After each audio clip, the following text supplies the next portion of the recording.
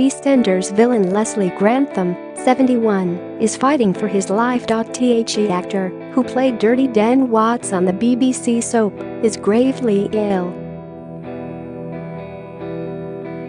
His representative told Mail Online that Grantham did not want to comment on his health but asked that the privacy of his family and friends be respected. Grantham has returned to the UK from Bulgaria, where he has been living for a number of years, to be under the care of doctors. He moved from the UK to Bulgaria following the breakdown of his marriage after 31 years.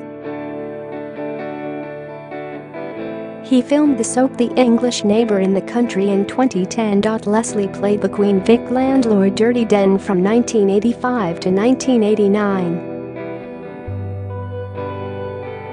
The legendary actor has received secret visits from his close showbiz pals, with one friend telling The Sun Leslie is being looked after. Those who are close to him are hugely worried and are praying for his well-being. His representative also told the paper that Grantham was very poorly. He helped the soap pull in its biggest ever audience when over 30 million viewers tuned in to see him hand over divorce papers to lying wife Angie on Christmas Day 1986. But Den earned his dirty nickname in the program after beating up his wife and impregnating a 16-year-old girl before he was apparently killed off in 1989. In 2003, however, Den was given a rather dubious resurrection when it was revealed that he had survived the assassination attempt and fled to Spain. Once back in Walford, Den quickly returned to his villainous ways, spreading mayhem for another two years until new wife Chrissie battered him over the head with an iron doors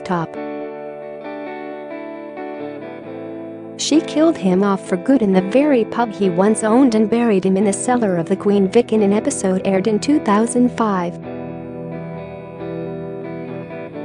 It was viewed by 16.2 million people. Grantham enlisted in the British Army in 1965, being sent to West Germany with the Royal Fusiliers. In 1966, however, he was involved in a struggle with a taxi driver he was attempting to rob in Osnabrück, Lower Saxony. The driver, Felix Rees, was ultimately shot in the head and died. In 1967, Grantham was convicted of murder and sentenced to life imprisonment. It was during his time behind bars he spent 10 years in British jails that he first took to acting. He performed in many plays during his incarceration and was encouraged to pursue acting by Labour politician T. Dan Smith and actress Louise Jameson. In 2004, Grantham was exposed by a Sunday newspaper after he took part in webcam chats while masturbating and sucking his finger in his dressing room. He apologized to his family for the embarrassment, but later said he was set up. Grantham said he was so devastated after the scandal that he attempted suicide. After failing in all his attempts, he explained, I accepted that even at suicide I was C.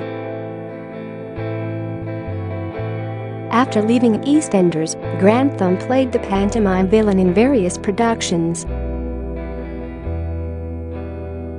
He also featured in two UK tours of Beyond Reasonable Doubt, a stage adaptation of a Jeffrey Archer play. In 2006, he played Jimmy Collins a man on the run from prison in the Bill.He most recently appeared in The English Neighbor, a Bulgarian TV series based on a book of the same name. He revealed in 2015 that he would like to win a role in Coronation Street. Despite becoming infamous as one of Walford's most notorious residents, he confessed he had been offered a role in the ITV soap before he ever starred in EastEnders, but turned it down. But the actor admitted that his EastEnders fame might make it hard for audiences to accept him in another soap role. It's difficult to get in now if you are well known in another soap, he said. I know Michelle Collins went into Corrie, but I'll always be known as Dirty Den. In 2016, he told The Mirror that he had made some quite catastrophic diversions during his life. He added, but I'm safe in the knowledge that what I do now is good. Of course I have regrets, but you can't go round wearing a hair shirt all your life, otherwise you'll never get out of bed in the morning.